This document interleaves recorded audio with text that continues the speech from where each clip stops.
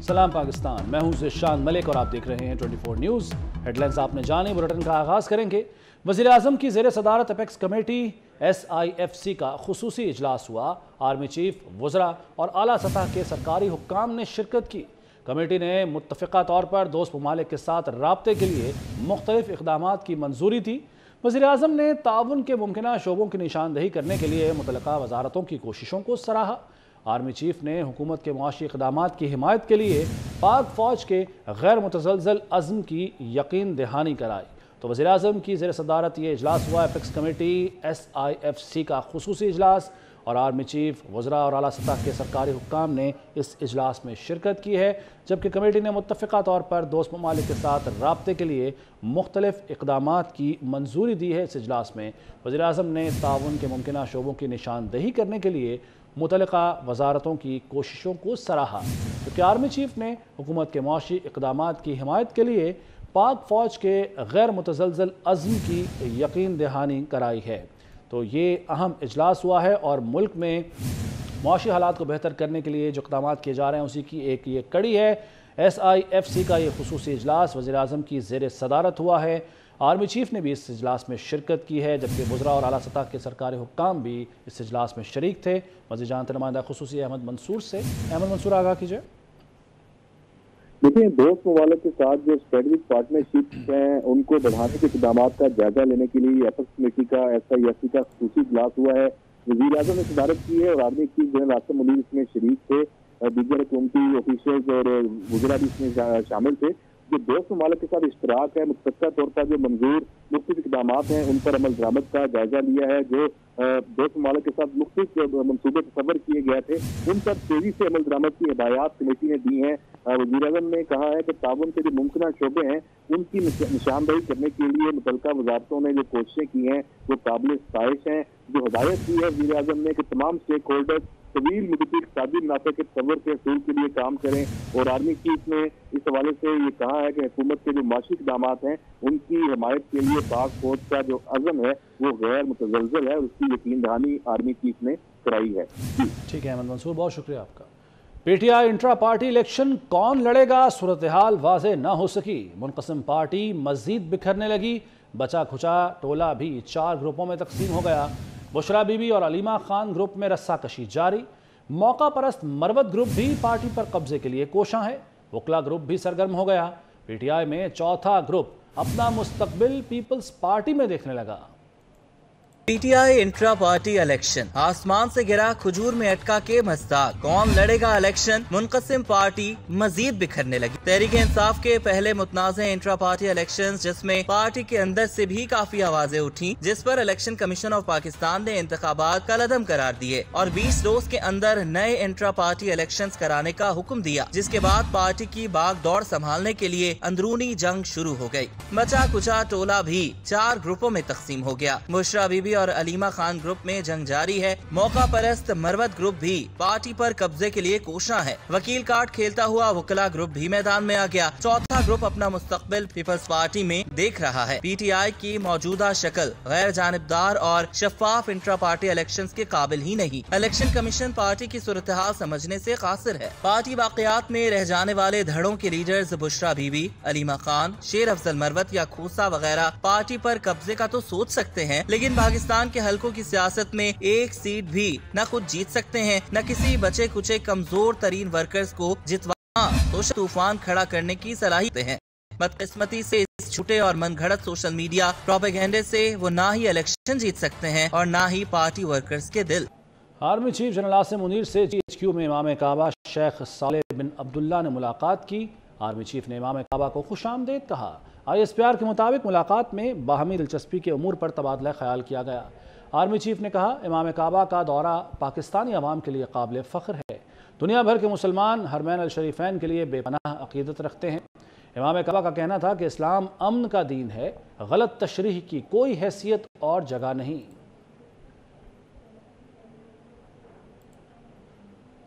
Election करीब, सियासी सरगर्मियाँ तेज पीपल्स पार्टी का दुबई में अहम इजलास मुतव सबक सदर आसिफ अली जरदारी दुबई रवाना होंगे।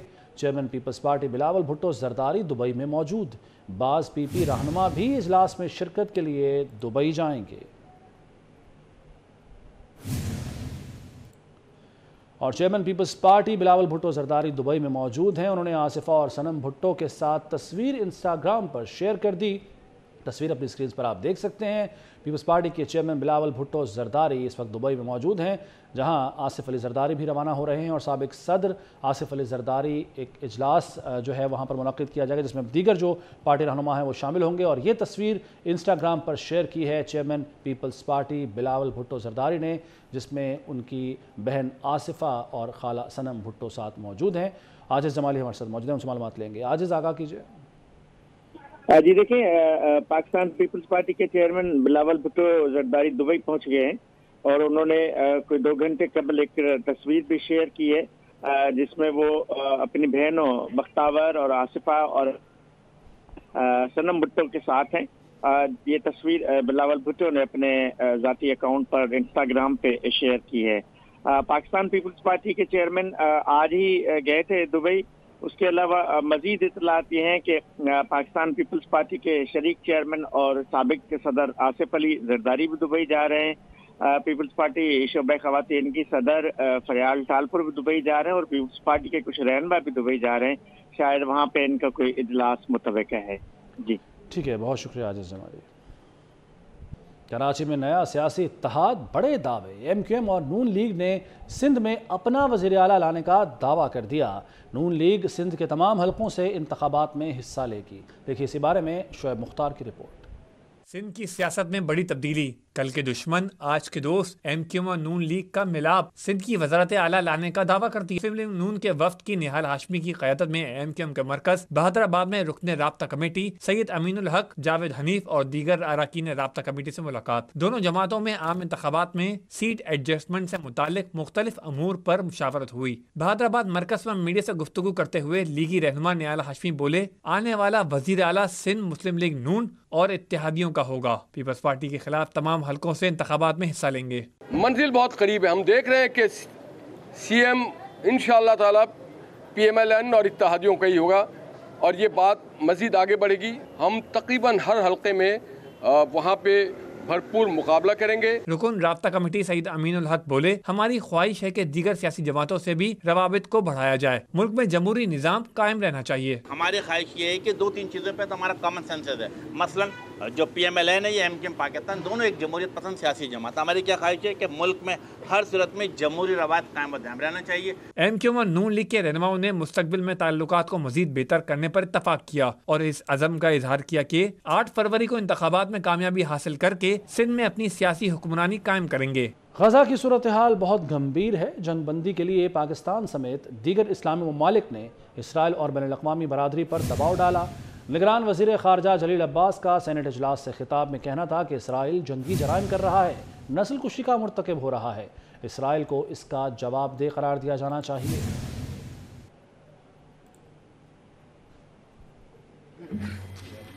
जो सेनेटर मुश्ताक साहब गजा सारा का सारा तबाह हो चुका है। वहाँ पे इस बिल्कुल वहाँ के तमाम इमारतें वहाँ पे तबाह हो चुकी हुई हैं। ये समझता हूँ कि जिस तरह से उन्होंने फरमाया, ये वॉर क्राइम है जो कि इसराइल कमिट कर रहा है और बारहा इस चीज़ का हमने याद किया कहा है, पाकिस्तान ने, कि ये इसराइल को वॉर क्राइम के जुनसा है उसका जिम्मेवार ठहरा देना चाहिए। ये एक जेनोसाइड है जो कि इसराइल जिसका मरतकब हो रहा है। स्मार्ट लॉकडाउन के नफाज का पहला रोज़, पंजाब हुकूमत की जानब से तीन बजे के बाद कारोबारी सरगर्मियों की इजाज़त दी गई।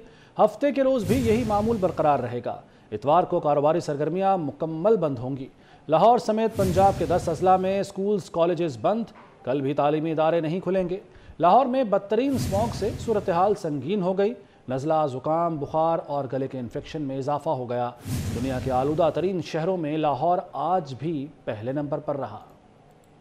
और में बदतरीन स्मोक से सूरत हाल संगीन हो गई। नजला जुकाम, बुखार और गले के इन्फेक्शन में इजाफा हो गया। वेबसाइट एयर क्वालिटी इंडेक्स के मुताबिक दुनिया के आलूदा तरीन शहरों में लाहौर आज भी पहले नंबर पर रहा। फजाई आलूदगी की शरह चार सौ छियासी रिकॉर्ड हुई। तिब्बी माहरीन ने हिदायत की है की शहरी बगैर मास्क घरों से न निकले। फजाई आलूदगी के खात्मे के लिए स्मार्ट लॉकडाउन का नफाज। स्मार्ट लॉकडाउन के नफाज का पहला रोज। पंजाब हुकूमत की जानब ऐसी तीन बजे के बाद कारोबारी सरगर्मियों की इजाज़त दी गई हफ़्ते के रोज भी यही मामूल बरकरार रहेगा। इतवार को कारोबारी सरगर्मियाँ मुकम्मल बंद होंगी। लाहौर समेत पंजाब के दस अजला में स्कूल और कॉलेजेस बंद रहे। कल भी तालीमी इदारे बंद रहेंगे। लाहौर चैम्बर और मुख्तलिफ़ ताजर तंजीमों की जानब ऐसी स्मार्ट लॉकडाउन आरोप सख्त रद्द अमल का इजहार। लाहौर चैम्बर का मार्केटें बाज़ार खोलने और धुएँ का बास बनने वाले अनासर के खिलाफ कार्रवाई का मुतालबा। वजी अला पंजाब से मुतहद अरब अमारात के सफ़ीर हमाद उबैद इब्राहिम सलीम अजाबी ने मुलाकात की। यू ए ई का झंग में बनाया गया अस्पताल पंजाब हुकूमत के सुपुर्द कर दिया गया। यू ए ई और महकमा सेहत पंजाब में अस्पताल की सुपुर्दगी के हवाले से माहदे पर दस्तखत हो गए। यू ए ई के सफ़ीर भी मोहसिन स्पीड के मोतरफ, कहा वजी अला पंजाब सैयद मोहसिन नकवी इंतहाई फ़ाल तरीके से काम कर रहे हैं। वो अनथक मेहनत से आवाम की खिदमत कर रहे हैं। वजी अला पंजाब के फौरी इकदाम से आवाम के लिए आसानियाँ होंगी।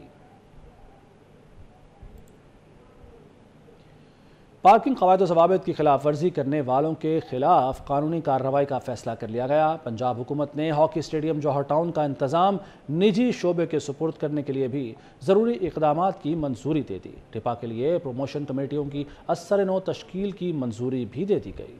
पार्किंग कवायद, जवाब की खिलाफ वर्जी करने वालों की शामत आ गई। वजी अला पंजाब सैयद मोहसिन नकवी की जेर सदारत एल डी ए अथॉरिटी के अजलास में अहम फैसले। इजलास में पार्किंग एग्रीमेंट की खिलाफ वर्जी करने वालों को प्रॉपर्टी के डी सी रेट का आशारिया पाँच फ़ीसद जुर्माना आयद करने का फैसला किया गया। मुकर मुद्दत के दौरान पार्किंग न खोलने वाले बिल्डिंग मालिकान को दस हज़ार रूपए फ़ी कनाल जुर्माना भी किया जाएगा। L D A building and zoning कवायद जवाबित में तरामीम की मंजूरी भी दी गई लाहौर में ट्रैफ़िक मसाइल के हल के लिए सात चौराहों पर यू टर्न्स और स्लिप रोड्स बनाने की उसूली मंजूरी भी दे दी गई। फ़िलहाल रोड हरबंसपुरा और जल्लो के दरमियान प्रोटेक्टेड यू टर्न्स बनाने का भी फैसला किया गया। लाहौर के बत्तीस मकाम पर आरजी तजावजात के मुस्तकिल खात्मे के लिए कैंप भी कायम किया जाए। इजलास में हॉकी के फरोग के लिए जौहर टाउन के हॉकी स्टेडियम का इंतज़ाम, निजी शोबे के सुपुर्द करने के लिए ज़रूरी इकदाम की मंजूरी भी दी गई। ईपा के लिए प्रमोशन कमेटियों की असर नो तश्कील और Punjab Central Business District Authority को लाहौर ग्लोबल विलेज लीज पर देने की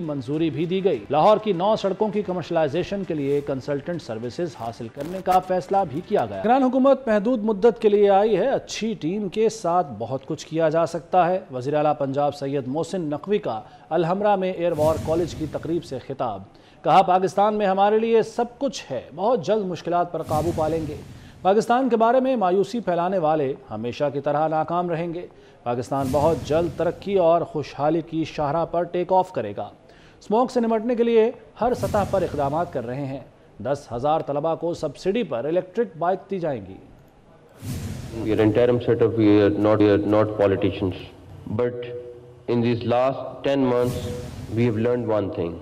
If you have will, if you have a good team, you can do whatever you want to do.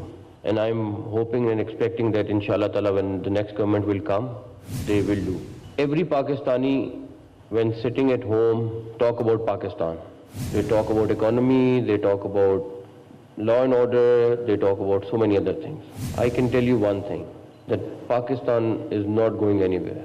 With the best resources we have, I have a strong belief that we will take off and we will be taking off very soon. As a Muslim, it should be our belief not to get depressed in any kind of situation.